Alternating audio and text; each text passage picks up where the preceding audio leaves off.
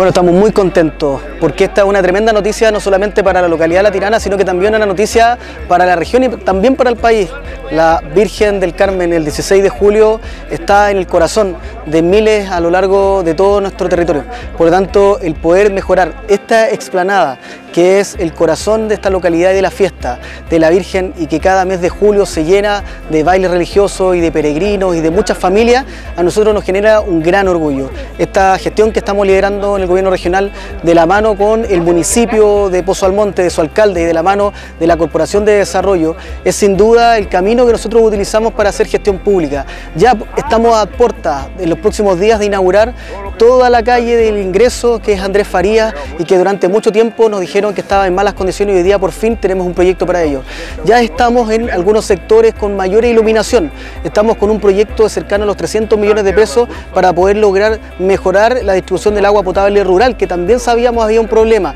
Estamos levantando proyectos de cámaras de seguridad, plazas, equipamiento y todo lo hacemos de la mano de los dirigentes de la localidad de La Triana. Así que muy contento, agradecido del Consejo Regional por el apoyo que nos dio en este proyecto que ingresamos. Entramos en una etapa de diseño y ahora prontamente vamos a mostrarle una explanada maravillosa que viene a recoger todo el fervor que nace en este punto tan especial de nuestra región de Trapacá.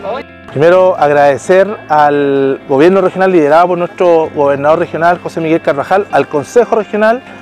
que acaban de aprobar el diseño para nuestra explanada La Tirana, un sueño que se arrastra hace mucho tiempo y donde él, claramente el día uno que asumió su cargo, eh, nos puso la meta de coordinar con todos los actores de las Fuerzas Vivas de la, Tirana, la Federación de Bailes Religiosos, la Rectoría de, nuestro santuario, todos los actores que son parte de este, este proyecto eh, para ponernos de acuerdo. Y en ese sentido, ese liderazgo que él puso en su momento se transforma hoy en un diseño que está aprobado por el gobierno regional que ya comienza este sueño que se arrastra por mucho tiempo y que esperamos en el corto plazo ya comenzar esta ejecución de obra. Bueno, ¿cómo no me voy a sentir orgulloso de este trabajo que llevamos haciendo de bastante tiempo en conjunto con el gobernador